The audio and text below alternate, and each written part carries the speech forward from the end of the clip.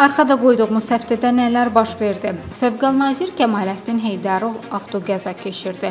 Yol hərəkətləri qaydalarına məhəl qoymayan nazir işıqforun qırmızı işığında keçərək qəza vəziyyəti yaratıb. Xoşbəxtlikdən xəsarət alan olmadı. Bir də hadisəni başqa cür təsəvvür edin. Qəza şəraitini nazir deyil də adi vətəndaş yaratsaydı nə baş verərdi? Cavabı hər kəsə məlum.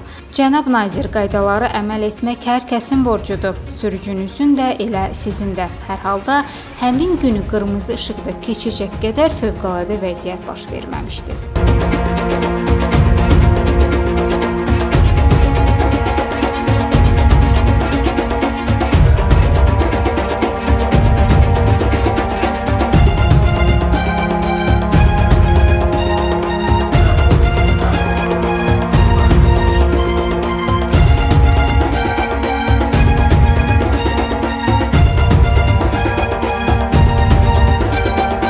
Ölkənin sözdə ən incə, kövrək qəlblərinin dırnaqarası yaradıcı insanların bir araya toplaşdığı Mədəniyyət Nazirliyində DTX-nın keçirdiyi əməliyyatdan sonra müəyyən vəzifəli şəxslər həbs olundu. Ancaq hamını maraqlandıran əsas sual isə bu incə qəlbli insanları idarə edən Mədəniyyət naziri Əbülfəz Qarayevin aqibətinin necə olacağı idi.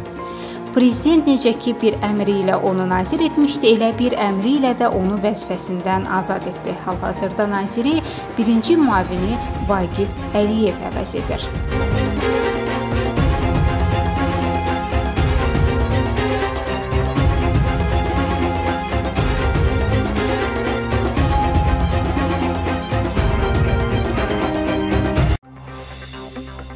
Rüstəm Usubov tutduğu vəzifəsindən uzaqlaşdırıldı. Onun yerinə isə prezident İlham Əliyevin sərəncamı ilə Elçin Məmmədov baş prokurorun birinci müavini təyin edildi. Baş prokurorun digər müavinlərinin də adı məlum oldu. Belə ki, baş prokurorun digər müavinləri postuna Elmar Camalov və Nazim Rəcəbov təyin edildi. Nazim Rəcəbov həmçinin baş prokurorluq yanında korrupsiyaya qarşı mübarizə baş idarəsinin rəhbəri vəzifəsində yerinə yetirəcək. Qeyd edək ki, bu təyinatlara qədər Elçin Məmmədov Lənkəran, Elmar Camalov isə Mingəçevir şəhər şəhər prokuror vəzifəsində çalışıb. Nazim Rəcəbov isə baş prokurorluğun kadrlar idarəsinin rəisi olub.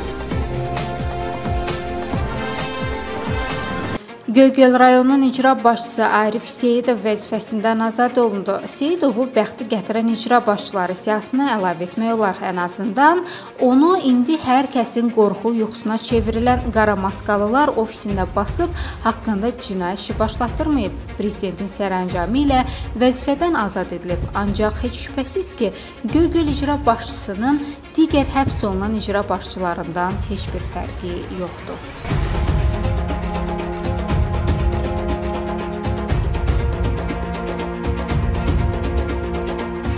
Mayın 21-də Şuşada Qondarma Dağlıq Qarabağ Respublikasında separatçı rejimin rəhbəri Arayik Arutyunyanın and içmə mərasimi keçirildi.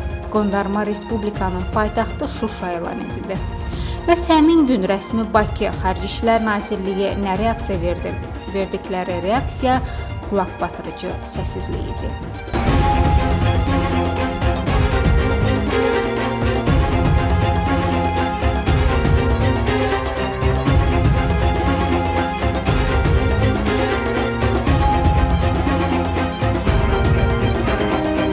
Karantin dövründə yüzlərlə imkansız ailələrə yardım edən, daha sonra ictimai əsayışı pozmaqda ittiham olunaraq 10 sutka həbs edilmiş idmançı Kamil Zeynallı azadlığa çıxdı.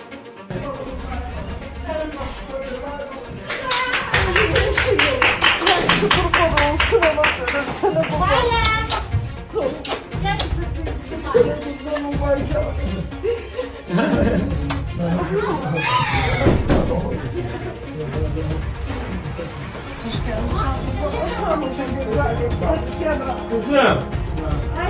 Canım ata da saatini almışım.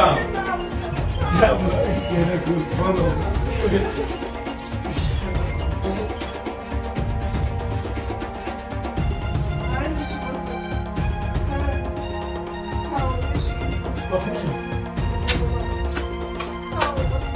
Sen İstanbul'dan birini almışsın. Vraiment C'est quoi